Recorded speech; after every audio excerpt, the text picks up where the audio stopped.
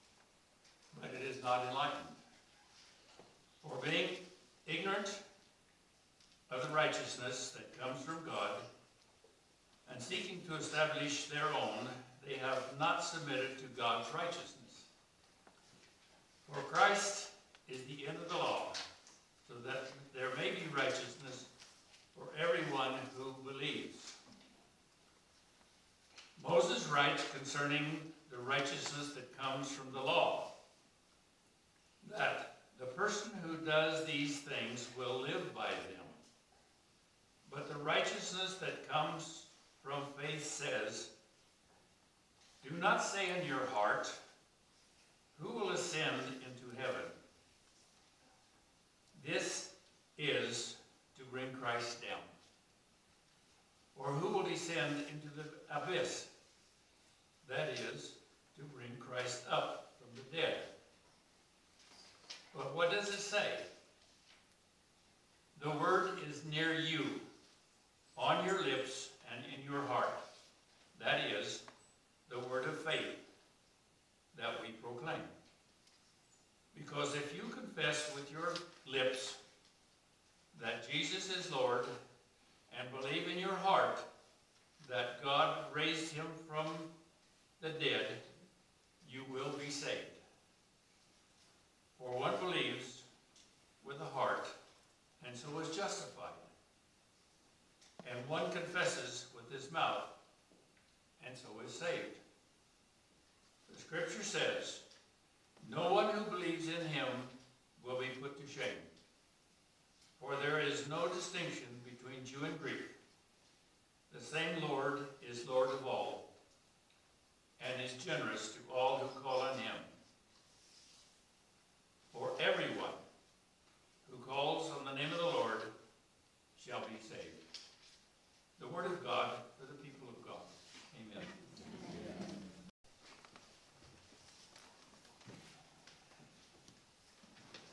It's a powerful passage of Scripture. Thank you, Ray, for sharing that.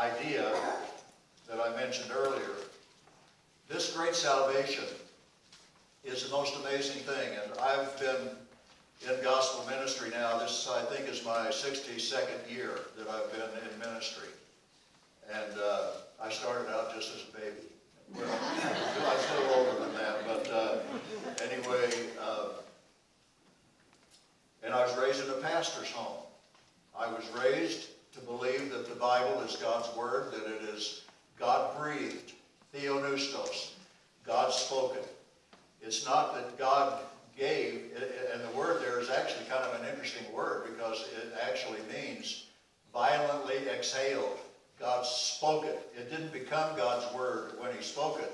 It was God speaking his word, God speaking his heart to us. And in that sense, the Bible is such an incredible book.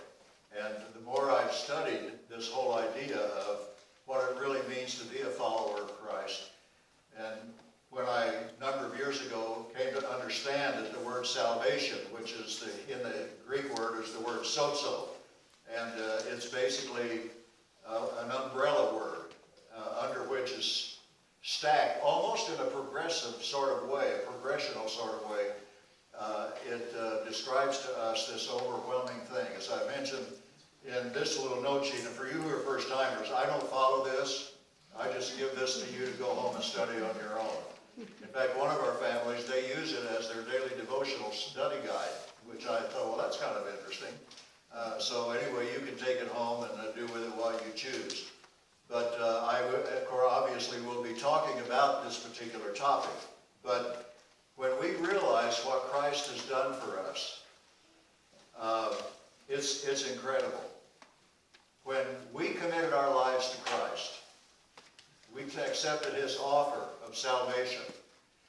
In Acts 4.12 it says, there is salvation in no, none, none other, no other else except, and he said, there is no other name given among, among men under heaven by which we can be saved. There's that word again, saved. It's a word that a lot of people turn, turn their noses up because they think it's too primitive, it's too archaic, it doesn't say what it needs to say. We, they prefer words like being religious or being this or being that or being the other which unfortunately may be okay from a human standpoint, but it doesn't fit with biblical truth. So we always are finding ourselves in that position where we have to decide, am I going to believe what other people think and what other people say, or am I going to uh, believe what the Bible says? And so it has a lot to do with that. So when we, it talks about salvation, whosoever will call on the name of the Lord shall be saved, as, as Ray read just a minute ago. It's a word that tells us that when we commit our lives to Christ, First, the first thing that happens to us is he forgives us. He forgives us of our sin. But he also cleanses us. And then he redeems us. He buys us back from the market of sin. And he buys us back and sets us free, sets the, rips the chains off, takes us out of the marketplace, and sets us free, and then welcomes him, welcomes us into his own family as a child, as a newborn. And you can go on through it about the third bullet point down, I think, on the front of the sheet. You see this incredible list of all these different things that God does when we commit our lives to Christ. And, and in Romans, the 8th chapter, verse 35, I think it is, Paul asks this inter interesting question. He says, who can separate us from this love? And then he says, you know, can hardship and tribulation and war and pestilence and even death? And then he answers his own question. He says, No, I am persuaded that neither death nor life, nor principalities or powers, or things below or things above, or things in the past or things in the future, none of this can separate us from the love of Christ, the love of God in Christ Jesus. And then he goes on and about, uh, I can't remember which verse it is, and he says, We are more than conquerors. We are overwhelmingly conquered. And one of those areas that is included in this package of salvation, as I mentioned, the salvation uh, as a whole is sort of like a multifaceted diamond, been precision cut. Steve used to dabble in that sort of precious jewels in, in the business, and and uh, some of the great things that happen is when somebody can cut a diamond in a particular way that is perfect to the nature and content of that diamond and then cut away in those ways so that these little facets and each facet just reflects and refracts an aspect of the beauty of God's salvation and what he's offered us. And one of those little facets over there that we sometimes either neglect or we, uh, uh, we uh, misunderstand is the subject of healing. And this is one of the things that is included. In fact, I remember years ago, uh, there used to be a big debate over whether or not healing was in the atonement.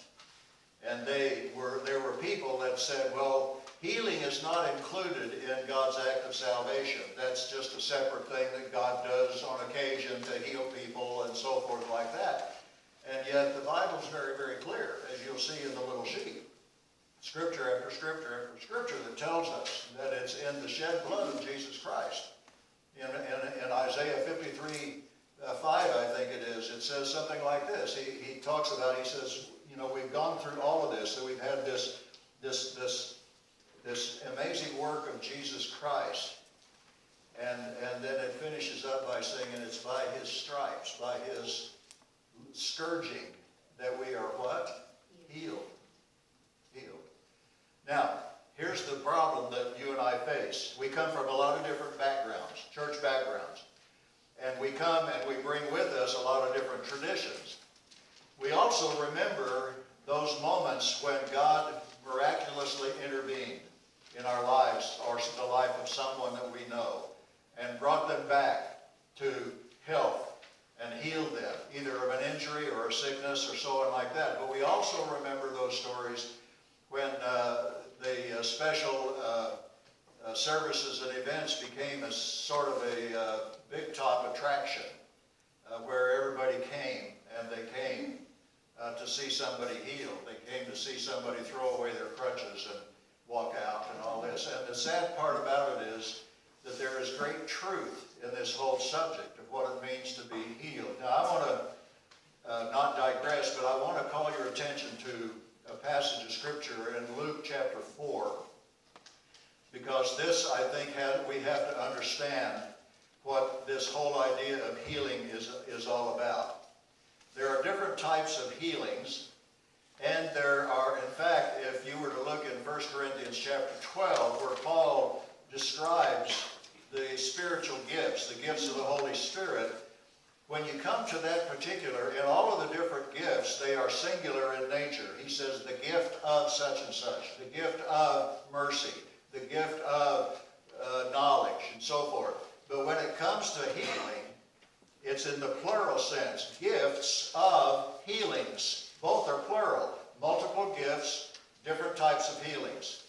And so that tells us something very, very important. And first of all, it tells us that God uses healing or uses many different resources and aspects in order to bring healing. Sometimes it'll be an instantaneous, miraculous thing. Other times he will use a doctor or he'll use medications, or, he, or he'll use dietary changes and nutritional changes. Uh, there are many different gifts by which God brings healing to us. But there's also, there are different types of healings.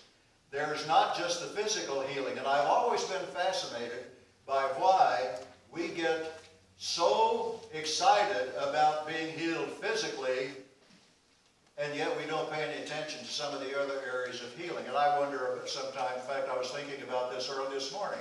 Why is it that we think that having our bodies healed is more important than having our emotions or our memories or our relationships healed?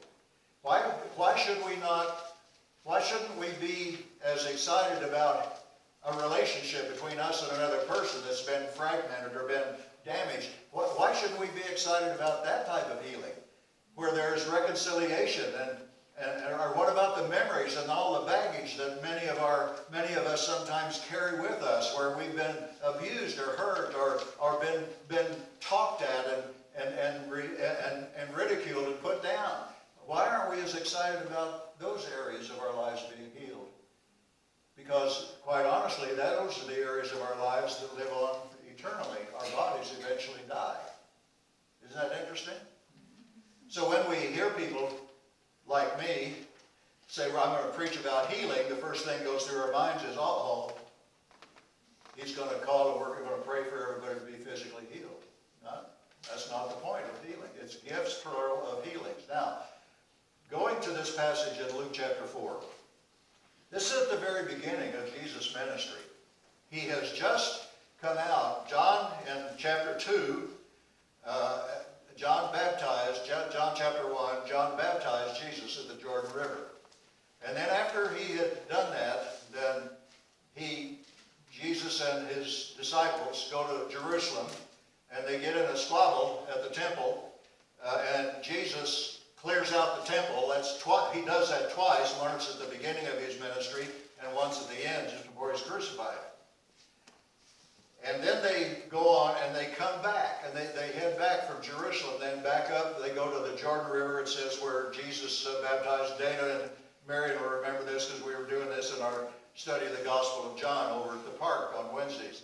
But uh, when Jesus finally comes back to Nazareth, which was his hometown, when he when his parents brought him back from Egypt as a baby, uh, following Herod's death, they settled in Nazareth, and uh, Jesus became a well-known person in that area because he uh, was a part of the leadership of the synagogue there in town. And as a result of that, he had certain responsibilities that came along periodically. And apparently, at this particular time, uh, it was Jesus' turn to read Scripture. And so we pick this up in uh, chapter, well, in uh, chapter 4 of Luke in uh, verse 14. It says, Jesus returned to Galilee in the power of the Spirit, and news about him spread through all the surrounding district. And he began teaching in their synagogues, and he was praised by all. And he came to Nazareth, where he had been brought up. And as was his custom, he entered the synagogue on the Sabbath, and he stood up to read.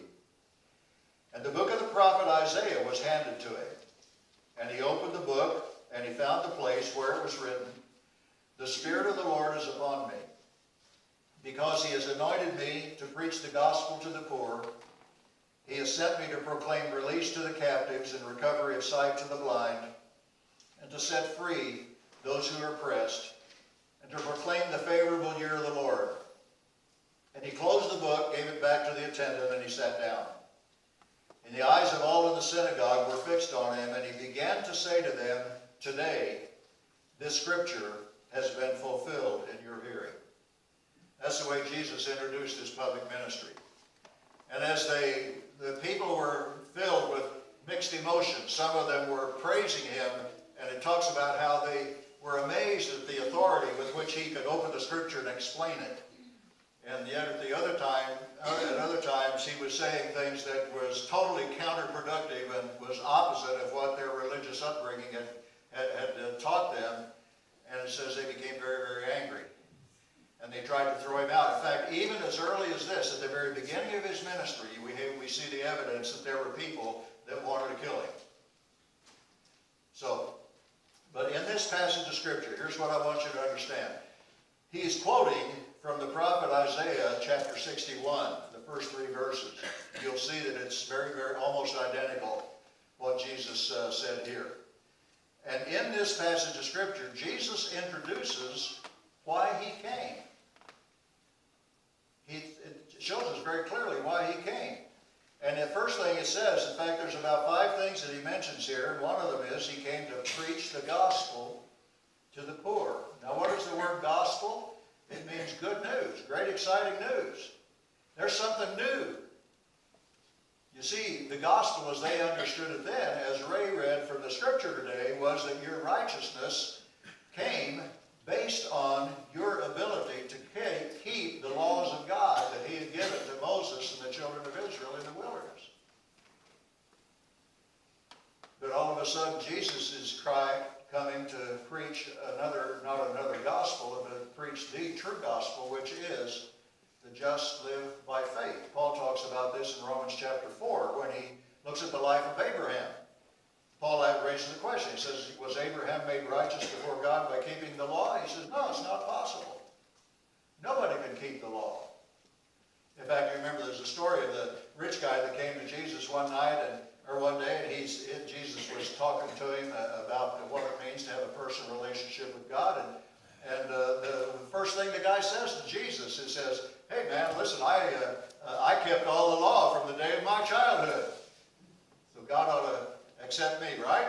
and uh, Jesus said, uh, well, if you even look on a woman with lustful thoughts, you've not only broken that commandment, but end repercussion is you've broken all ten.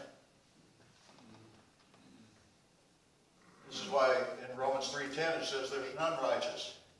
No, not one. Not one. And that's another quote from the book of Isaiah.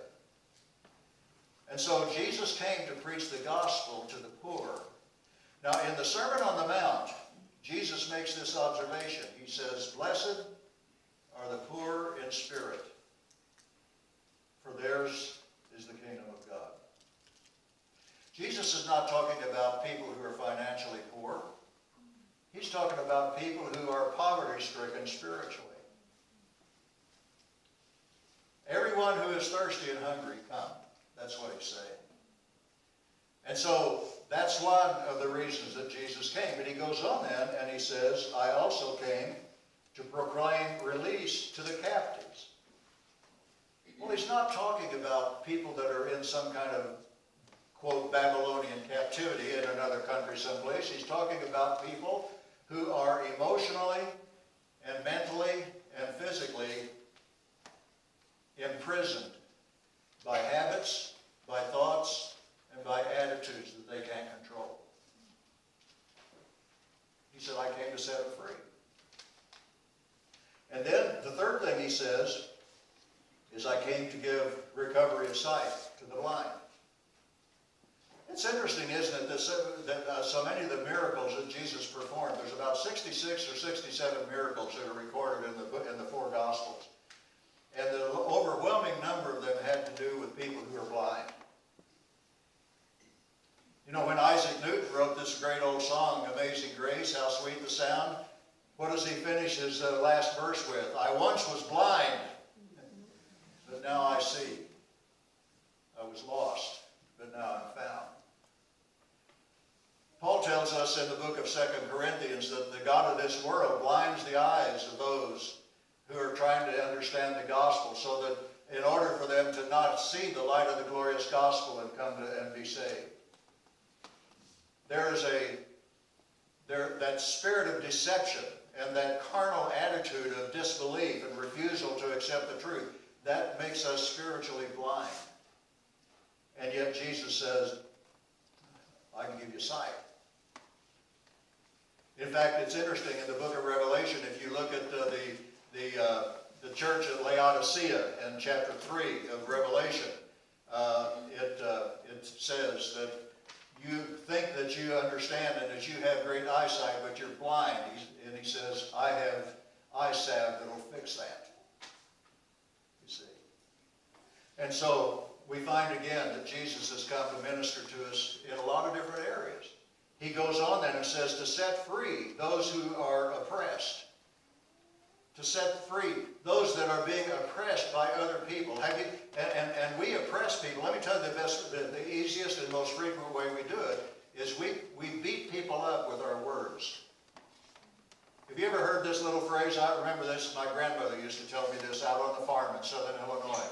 And then my mother, of course, she reminded me, reminded me of it all the time as a little boy. Sticks and stones may break my bones, but words will never hurt me. Well, I can tell you folks, that's a lie. It doesn't work that way. Words hurt. And we really do a job on people by the way we talk, the way we talk to each other. Let me just give you an illustration. We have four daughters. Oh my goodness, our baby is going to be 54 years old. Uh, let's let's forget about that. Uh, but we, uh, our girl, our first three girls were born real close together. Joanne spent her three summers in a row given in the hospital. She's, that's where she spent her vacation. 1960, our daughter Cindy was born. 1961, that was in June. Our daughter Debbie was born in July of 1970 or 62, one, and then Sherry was born in July of 1962. And then we took a break, hmm. and our other daughter came along about two and a half years later. Our third daughter, Sherry was a dreamer, characteristic of third born.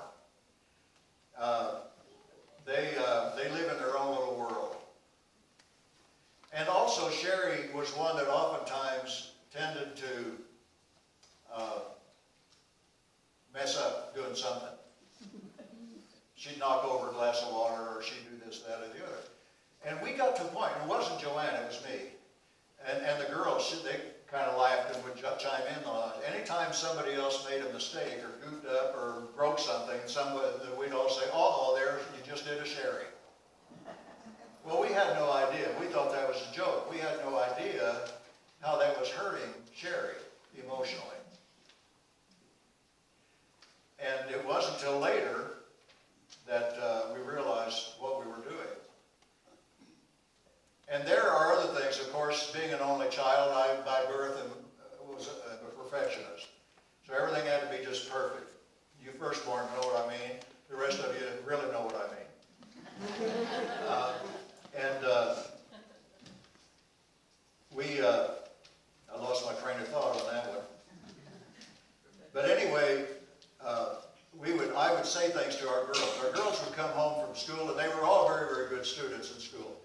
And I remember one time, one of our daughters came home, I think it was our second born daughter, and she'd had all A's except for one B plus.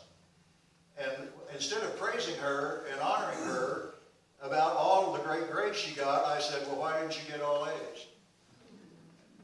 Now, that lets the air out of the balloon in a hurry. It takes away incentive.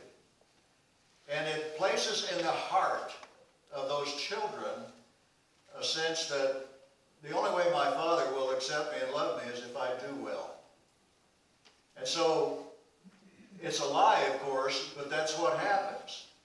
So what I'm trying to tell you is that some of the greatest areas in which we need healing is in those wounds that have been placed upon us by unthinking, still love, but still loving people who care about us. And yet, we live that way. And we complain or we criticize. You know, I just saw a little thing on the news. I've seen many of these before, but there's one, I, I think maybe it was posted on Facebook or something, uh, of, of these uh, parents that got in a big brawl at their kid's ball game. Can you imagine such a thing? Well, I can. I've never done it, but, but think about it.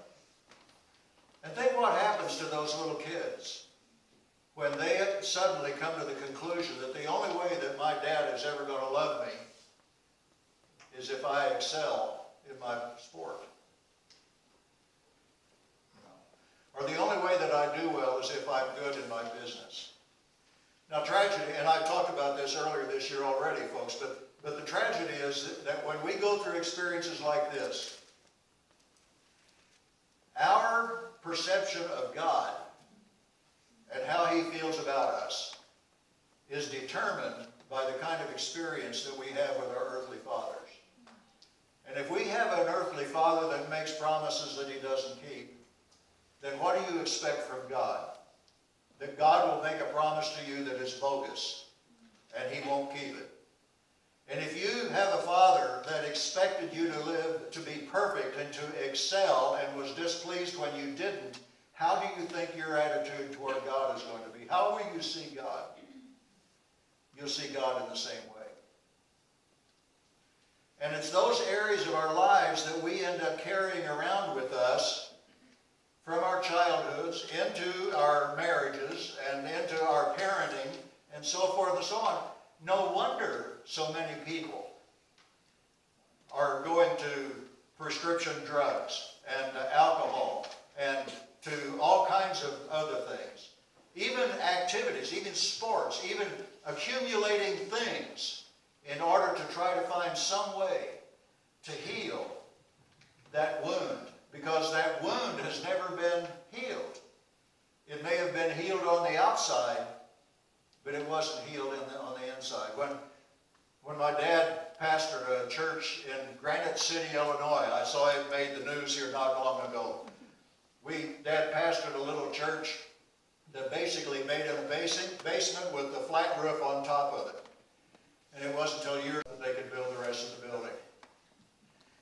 But one of the things, this was during the Second World War. My dad, of course, was a very young man in his late 20s, early 30s when we were there. And he loved sports, and so the church had a ball team, softball team. My dad was quite good at whatever he did athletically. And for some weird reason, he decided to be the catcher on the team. Now, they had a rule that you couldn't wear spikes. But one day, one of the guys on the other team broke that rule, wore spikes, slid into home plate, and gashed my dad's leg along the shin bone. They went to the doctor, where the doctor poured in sulfur, powdered sulfur, which is what they used on the battlefield during the Second World War. And so he cleaned it out, poured the sulfur in, set his leg on fire, of course, and then he just wrapped it up and passed it. And over the period of weeks, that thing began to heal. And healed it over, he stopped wearing a bandage. And then one day, his leg started turning red and started getting streaks up and down his lower leg. Became obvious that his leg was infected. But on the outside, it looked great. So he went to the doctor, and without any kind of anesthetic, of course, he sliced it open, and then he began to clean that out. I always like to tell this story. I love to see the looks on people's faces. Uh, but he began to clean it out with swabs. And then he poured more sulfur back in, wrapped it up, and then it healed. Many people carry wounds that are healed on the outside. But there's an infection deep inside. And if you don't take care of it, it'll ruin your life. And the thing that takes care of something like that is forgiveness. Bitterness destroys the lives of people. And until we come to a point in our lives where we're willing either to ask forgiveness or to offer forgiveness, those wounds that we carry from our past never heal. And so what happens is that, no offense to medical and psychiatric profession at all, I don't mean it this way at all, but those basically treat the symptoms. They never get to the root issue. When I was pastoring in Iowa in the early, in the late 1970s, we had a lady in our church that came to me. She'd had tremendous emotional problems. She and her husband were very, very active in the church, and they loved each other. They had a couple of really nice boys. I mean, it was just a great family. But she had been, she had had serious psychiatric help in the past. And as she talked to me about that, she said, you know, I actually had shock treatments. This is when they were still doing electroshock therapy. And she said, Pastor, it always has puzzled me why, as they gave me shock treatments and blotted out my memory, I still always remembered my sin. See, shock treatments don't deal with sin. They deal with symptoms. Only forgiveness and the blood of Jesus Christ will deal with my sin. So we have all these different things that go on. And I've digressed a lot from where I thought I was going to go this morning.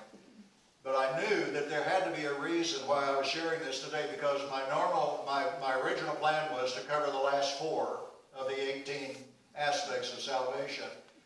And then I told Joanne yesterday morning, I think I'm just going to do two. And by noon, I knew I could only do this one. So somebody here needs to hear this, I assume. But I want you to look at some of the things. Because, and, and healing, healing deals with a lot of different areas. It does include physical healing, but you'd be amazed at how many of our physical illnesses and problems that we have come as a direct result, they are psychosomatic. They, they come as a result of relational aberrations and relational conflicts that we've never settled. Sometimes they come from our own sense of unforgiveness of ourselves because even though we have accepted Christ and received His forgiveness, we've never been able to bring ourselves to the point of forgiving ourselves and saying, the blood of Jesus Christ covers me of all sin. You see. And we just need to be able to understand this. Now, you see on the sheet a list of biblical reasons why people are sick. physically, emotionally, spiritually. And you can read through all of that that you want to. But I just want to go back and just remind you that in the person of Jesus Christ, from the beginning of his, before he was ever born as a human being, the prophet Isaiah made it clear that he was coming as the healer, the healer of a nation, the healer of a people, the healer of a soul. And throughout, when he announced his public ministry that we looked at, we see all the different areas in which Jesus was willing and had announced, this is why I came, to heal you in your relationships, to set you free from that imprisonment that you put yourself in, and to be, to release you to life the way I want you to experience it. And he said, I came to heal you physically as well. And so the last thing that we see is just some things to remember about biblical healing, and this is on the back of the sheet. You can read through all of these, but it's just important for us to remember a couple things. One is that God does heal, He can heal, and He will heal. We need to understand that healing comes not just physical, but also emotional, mental, spiritual, relational, financial. God is in the big healing business. It's a part of salvation. This is why Scripture says, by His stripes, by His scourges, we're healed. This idea that healing is not included in the death, burial, and resurrection of Jesus Christ is an absurd thought. If it's not in Christ, then where in the world is it? You see, healing of all kinds has to come either through the person of Jesus Christ or it's an impossibility. Now, we also need to understand that when he, God heals us in whatever way it is, it is always through the person of Christ. This is why I feel so sad sometimes. I don't feel sorry for them, I feel sad for them. When I see people that are trying to deal with a lot of these wounds and scars, and yet they will not acknowledge that Jesus is the Son of God, or they won't even acknowledge that God exists. I wonder, how do they deal with that stuff? Well, they deal with it through drugs and activities and habits and all kinds of stuff. And they make a lot of psychiatrists and psychologists and medical doctors wealthy in the process. Now, I'm not discounting their role, because there are gifts, plural. And those gifts include medical profession, it includes counseling, it includes nutrition, good nutrition, and so forth and so on. But God wants us to be whole. He wants us to be healthy spiritually. Third John, only one chapter, so I say chapter 1, verse, verse 2. John makes this statement. He says, My little children, I love John. He's one of my favorite gospel writers. He says, My little children, I, I write this, and I pray that you will prosper and be in good health, just as your soul prospers. You ought to go back and read that. And all of a sudden we realize that our ability to prosper materially, physically, in other areas is dependent upon how healthy our souls are. Isn't that an amazing thought? So it's necessary for us to be sure that we are walking spiritually in the things of the Lord and that we are turning to His Word and we are trying to be obedient to His Word as best we can. In the 15th chapter of Exodus, you're, you're doing the same thing that you did last week. You're not listening nearly fast enough. Uh, in the 15th, and I'll, I'll, close with this, but in the 15th of chapter of, uh, of Exodus, we have the second of eight covenant names of God. The word, they're built around the word Jehovah or Yahweh, which means Redeemer. Jehovah is our salvation. Yahweh is the same word from which we get Jesus. And uh, first one appears in the 22nd chapter of Genesis when God, uh, when Abraham offers Isaac as a sacrifice, and J- Abraham finds the ram caught in the thicket. God says, offer this one instead of your son. And Abraham says, Jehovah Jireh. God provides.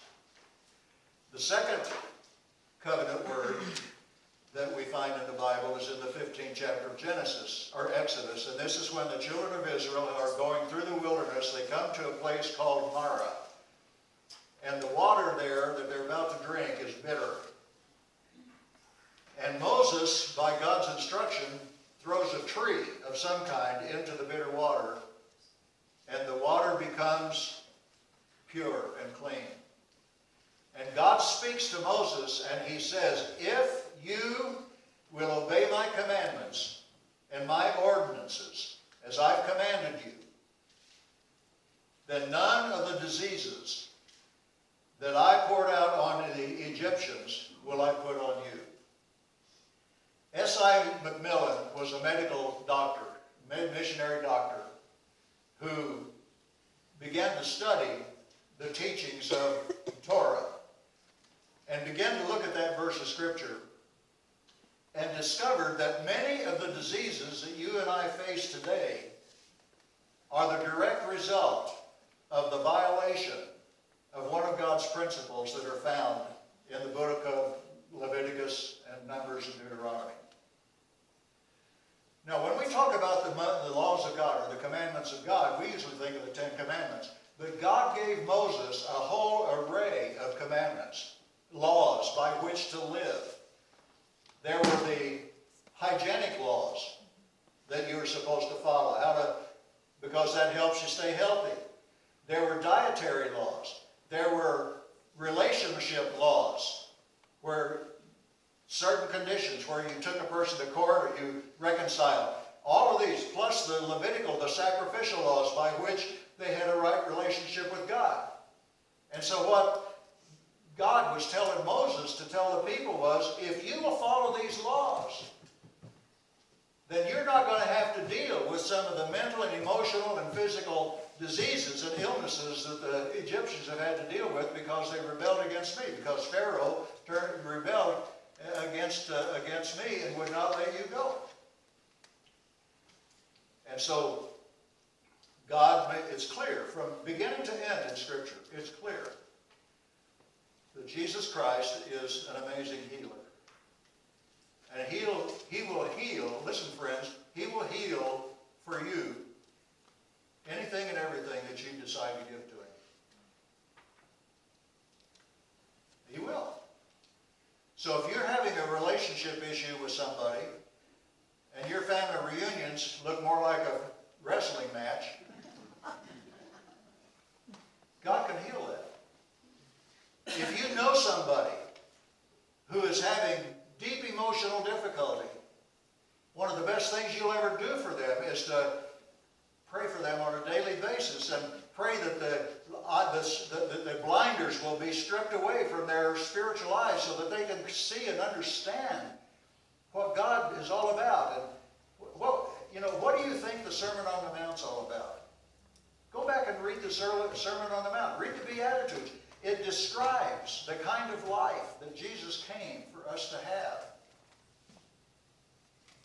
And we can have it when we acknowledge that He's not only our Savior and Redeemer, but He is the healer. He's the one who can heal broken hearts. You know. Well, you're going to have to read the rest of it yourself. but my, I, I just hope that we understand how, how great this salvation is. That, that when, when Christ saved us, He did so much more than for us to be forgiven of our sins and have eternal life. But He offered us a life, not just eternal life, but a lifestyle by which we can live and by which we can prosper, just like John said. That you can prosper. Now, that doesn't mean to become materially wealthy. It basically means to be successful and be in good health. But it's in direct relationship to the condition of our soul. So what's our spiritual condition? Are we skeptical about God? Do we neglect to spend time in His Word? Do we not spend time in prayer? Do we not fellowship with other believers? Do we tend to judge others because they don't have the same catechism or the same doctrinal that we, doctrine that we have? Or do we come to Him and realize that Jesus is Himself described as the great physician? You know, there's a little chorus that I thought of yesterday, and I don't know if any of you know it or not. Diane just tried to learn it a little bit ago. But it's, the words to it are written on the inside of your bulletin, your uh, order of service. His name is Jesus. Jesus, I want you to look at those. Sad hearts, weep no more. He has healed the brokenhearted and opened wide the prison doors. He's able to deliver evermore. Now, since some of you don't know it, or probably many of you don't know it, I'm just going to sing it as my last point, and then I'm going to let Diane come up and lead us as we sing it another two or three times through. You just want me to do it? Relax. Okay, so I want Joanne to play the, play the tune so you become familiar with the tune, and then I'll sing it for you, and you can follow along. It- It's easy to, easy to learn.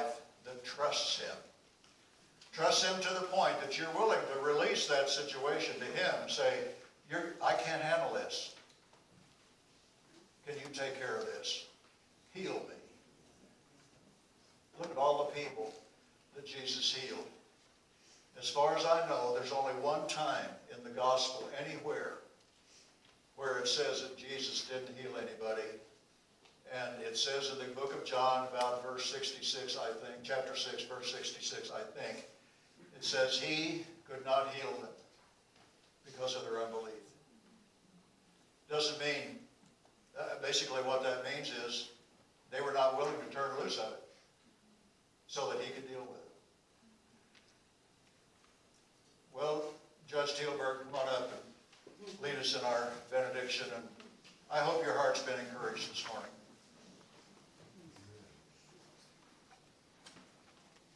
Pastor Bob. Once again, Here we are. once again, we leave uh, full of spiritual food. Thanks for your preaching and your preparation. Our uh, benediction uh, this morning is from uh, the 15th chapter of Romans. Now may God, who gives perseverance and encouragement, grant you to be of the same mind and one another, according to Christ Jesus, so that with one accord you may with one voice glorify the God and Father of our Lord Jesus Christ. Amen. Well, as usual, we have lots of food in the back, so make sure everybody that's here goes into the back eventually and grabs something to eat before you go home sometimes as good as lunch. So we end our, our uh, service today with the Family of God, which if you don't know the words is on page 282. And we like to join hands with somebody and be friends. You don't have to join hands with everybody, but somebody at least. Okay.